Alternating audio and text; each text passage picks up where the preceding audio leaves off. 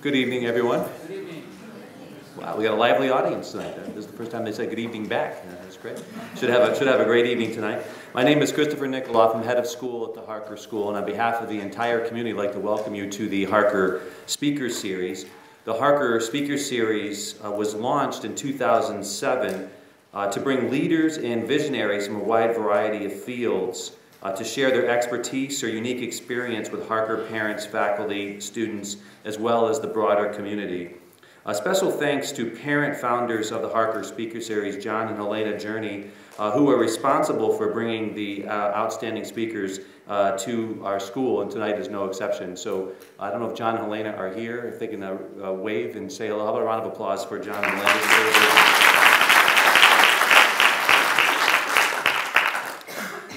Also, special thanks to Pam Dickinson, Trina Coyne, and Tiffany Hurst, uh, the merry band who, behind the scenes, uh, really uh, pull this uh, pull this event together to and, and, take care of all, all of the details. Uh, the Harker Speaker Series has a tradition of inviting a student to introduce our speaker, and tonight I am pleased to introduce Govinda Dasu. Uh, Govi is currently a senior, and he came to Harker in 2008. his favorite subject is physics, specifically astrophysics. And he wanted to introduce Dr. Tarter today because his work on brown dwarfs is very similar to the research, uh, her work on uh, brown dwarfs is very similar to the research he did this summer with Professor Gregory Laughlin at, the UC, at UC Santa Cruz. Govi is really interested in the prospect of finding low temperatures near brown dwarf neighbors, especially those at Earth-like temperatures. In addition to his interest in research, Govi enjoys serving on the school student council, uh, running a debate website called War of Word, and participating in performing arts. And so please join me in uh, welcoming Govi to the podium. Thank you.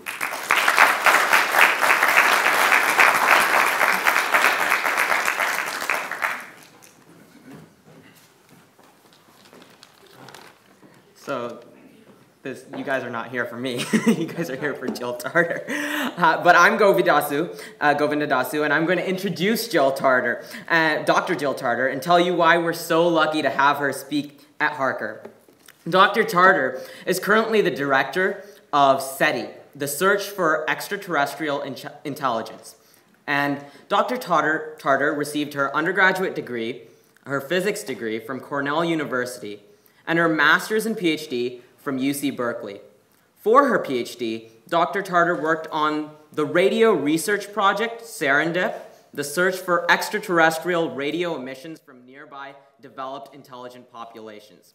She, in fact, created that clever acronym. She's also been involved in NASA's High Resolution Microwave Survey, HRMS, and was the co director of Project Phoenix. Tarter has received a number of awards for her pioneering include the, including the Lifetime Achievement Award by Women in Aerospace in 1989, the Adler Planetarium Women in Space Science Award in 2003, the Telluride Tech Festival Award for, of Technology in 2001, Wonderfest's Carl Sagan Prize for Science Popularization in 2005, and a 2009 TED Prize. In addition, Tarter was elected a Fellow of the American Association for the Advancement of Science in 2002, a Fellow of the California Academy for Sciences in 2003, and a Fellow of the Committee for Skeptical Inquiry. Dr. Tarter's influence has spread to American pop culture in the film Contact, where the protagonist character, Ellie Arroway, is based on Tarter. Tarter is a very mainstream and popular scientist, and according to CNN, she has sought to solve a mystery that has long intrigued scientists and science fiction buffs. Are we alone in the universe? This is indeed one of the deepest questions we can ask our intelligent society. So without further ado, here's Dr. Jill Tarter with the answer.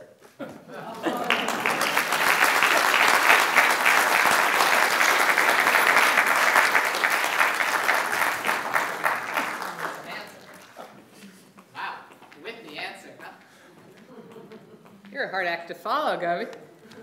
Um, it's a real pleasure to be here tonight, John. Thank you very much for, for asking me uh, to come. Uh, Gary gave you one introduction. Let me tell you a little bit about how I see myself. So, who am I? Well, my team uses radio telescopes to try and find evidence of extraterrestrial technology. Uh, that may sound a little familiar. So let me say, I'm the one that doesn't wear the headphones. Uh, I um, have degrees in engineering physics and astrophysics, and I've only actually had two jobs in my life. I was a NASA scientist, a project scientist for their SETI endeavor, and I was employee number one at the SETI Institute when we incorporated in 1984 to try and save NASA money. I've done a number of things under that rubric, and at the moment I'm the chief cheerleader for a, um, an innovation open community that we call SETI Quest. So Sonata, which is SETI on the ATA, ATA is the Allen Telescope Array. I'll tell you some more about that in, in a few minutes. Um, we're all transitioning, right? At my ripe old age, I'm trying to learn how to do my business in a different way. Uh, I'm, and in the words of the open source community, we are moving away from the cathedral, using large scientific instruments, doing our business all by ourselves. And we're moving into the bazaar. Right? And the bazaar is a vibrant and exciting and innovative and energetic environment with lots of wonderful ideas percolating around. But it's a little bit rough and tumble too, right? You gotta have some sharp elbows and, and, and a thick skin to do well in this environment. And that's what we're trying to learn how to do because we realize that not all smart people who are interested and passionate about SETI work for the SETI Institute, and they actually can help us to improve the search. So for millennia, humans have actually been on a journey trying to seek answers. I can't promise that I have the answer tonight, Goody. Um, but they're answers to questions about what is, what ought to be, who are we, why are we, and of course, who else might be out there. Along that journey, we've discovered um, that our universe is vast, that our sun is one of 400 billion stars in the Milky Way galaxy, that our Milky Way galaxy is one of 100 billion galaxies in the observable universe. And as vast as this is, and as wondrous as this is, in the past decade, we finally understood that this is only 4% of the mass energy density of the universe. All this stuff we've been studying for hundreds of years really amounts to only 4%. What's the rest? What's the other 96%? It's dark matter, dark energy. Dark is just an astronomical word for we don't know. But we're going to find out. That's the wonderful thing about science, is that we um, reserve the right to get smarter and learn new things as we go along. Well, along this journey, 50 years ago, um, the search for extraterrestrial intelligence took another track. Um, we started to try and use the tools left over from World War II radar science, um, this, the, the tools of the radio astronomer, to see if we could find evidence of someone else's technology. So the search for extraterrestrial intelligence is really a search for someone else's technology out there. The first search was done by Frank Drake, um, who looked at two stars, Tau Ceti and Epsilon Eridani, for a couple of hundred hours with some very primitive instrumentation relative to today's tools. Um, and he didn't find evidence of extraterrestrial technology, but he did learn a very important lesson which has been part of every search thereafter. And that is that terrestrial technology can really mess up the search for extraterrestrial technology as well as enabling it. So we have the problem of discriminating our technology from theirs. And I like to think of SETI as departing from the millennia of humans who asked this question, Are we alone? And they expected the priests or the philosophers or the wise people to tell them what they should believe. Today, what we're doing is a scientific exploration. So I think about SETI as replacing the verb believe with the verb to explore. And I really hope that we can invite and have the rest of you participate with us in our exploration. So we don't presume the existence of extraterrestrial intelligence in our work. We just note the possibility, probably even the probability, uh, given the size and the uniformity of the universe we find ourselves in. So today we live in a very fragile island of life, in a universe that's full of possibilities. And some of those possibilities are becoming more obvious every day. Um, for a very long time, the idea of planets orbiting other stars was a very nice theory. And since 1995, it's become a reality.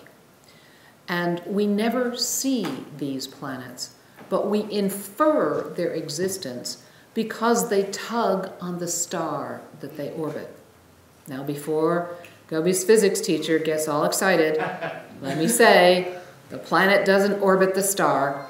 The planet and the star orbit their common center of mass, but in most cases that's down inside the star, just not quite at its center.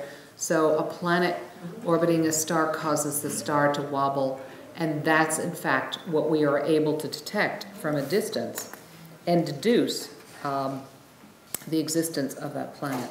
We've found hundreds, 550 some odd, planets this way. Um, most of them are large, and we're just beginning to get into the realm of Earth sized planets. So there are altogether about 2,000 exoplanets and exoplanet candidates, mostly large stars, uh, mostly large planets in short period orbits.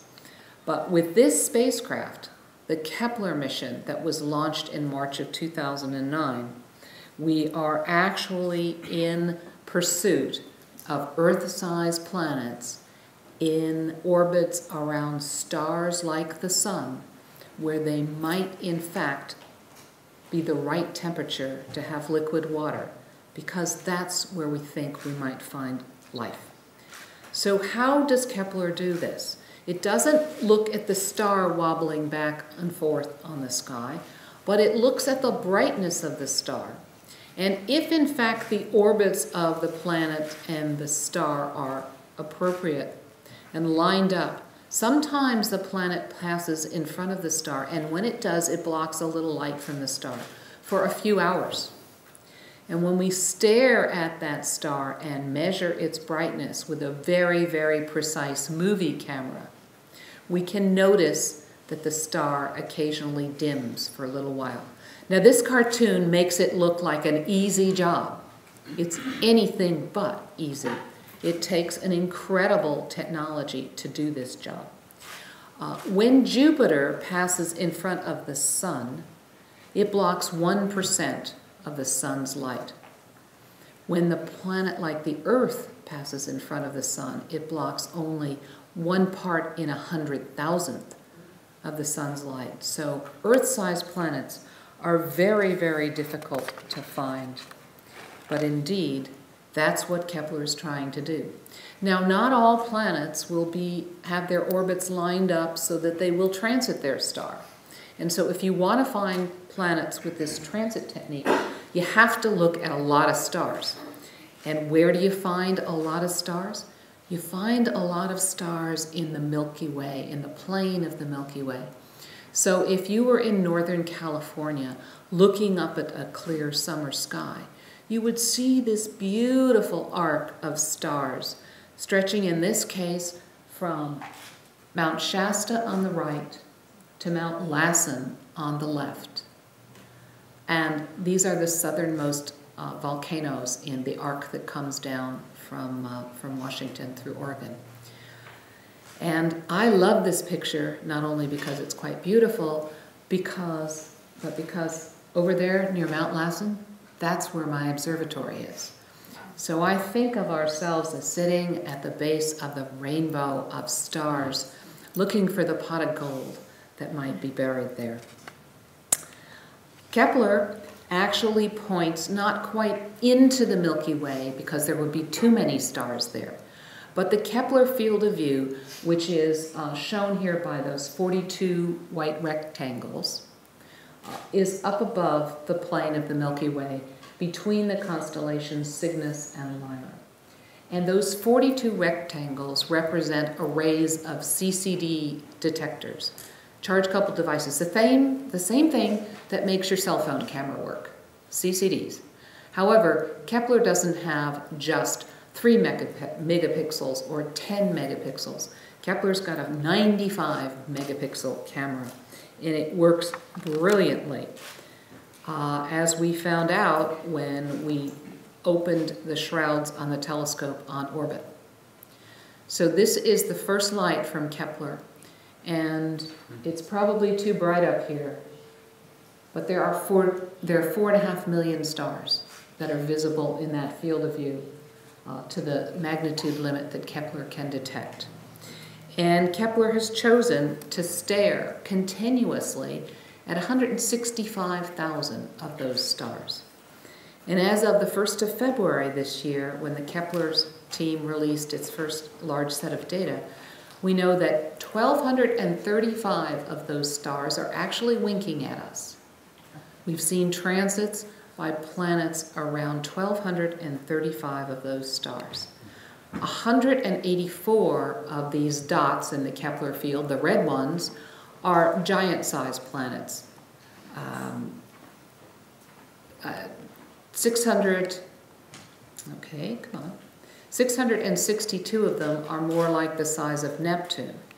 There are 288 planets candidates here that are something we don't have in our own solar system. We call them super Earths. We'd love to know more about what those planets are like. And 68 of them are actually Earth-sized planets. And among these 1,235 planets, there are 60 that seem to be in the Goldilocks zone. Not too hot, not too cold, just the right distance from their star so that they might be habitable in the sense of having liquid water on the surface. These results were released with huge fanfare in February, and at the end of last month, with no fanfare at all, Kepler released yet another large set of data from more Uh, recent observations, and they've doubled the size of this exoplanet candidate population. And we know with confidence that there are many more to come. Now, if this kind of Skittles diagram isn't to your taste, how about corn cobs? All right? Here's those 1,235 exoplanet candidates shown in projection against their star. So the disks are the stars shown in relative size, and the colors show the temperatures of the stars. The red ones being cooler, the blue ones being brighter, and you can see little spots. And for comparison, that's the sun.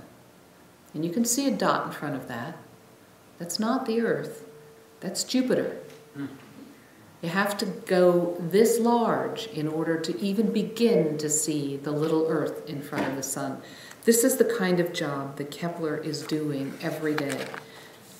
Now, Kepler, the spacecraft, is named after a scientist who provided us with the laws that tell us how planets move around their stars. Right? And so for hundreds of years, we've built these beautiful uh, mechanical orreries that show how things revolve and, and rotate. And you turn the crank and everything moves around with clockwork precision, just as Kepler's laws, which are incredibly beautifully simple, tell us they should. And I think it's actually the simplicity of Kepler's laws that over the past few hundred years has sort of lulled us into adapting a kind of hubris. So we thought that when we began to find planets around other stars, those planetary systems would be just like ours. Everything in a plane, circular orbits, the big gas giant planets on the outside, the little rocky planets close into the star. We were totally, totally wrong. The first exoplanet we found was more massive than Jupiter, close enough to its star to orbit in only a little over four days. And when we look at the incredible richness of the planetary systems with multiple planets that Kepler is beginning to show us, we see the real orreries. This is so amazing. There is so much information in here on planetary dynamics that will help us understand how nature forms planetary systems. And this kind of beauty reminds us how difficult it is with a sample of one to predict what actually will be out there in the real world. Nature is incredibly versatile. Now, of these planetary systems with interesting dynamics, perhaps the most intriguing was just announced a couple of weeks ago by my colleague Laurance Doyle at the SETI Institute. This is Kepler 16b. This is a planet that orbits not one star, but two. This is an eclipsing binary star system, and it has in a circumbinary orbit a small planet. This is, in fact, Kepler 16b, that planet, is Luke Skywalker's world on Tatooine with two suns. Um, you can see the size of our sun for comparison. Both of the stars in this system are much smaller than the sun, and Kepler is about 30%, Kepler 16b is about 30% of the mass of Jupiter.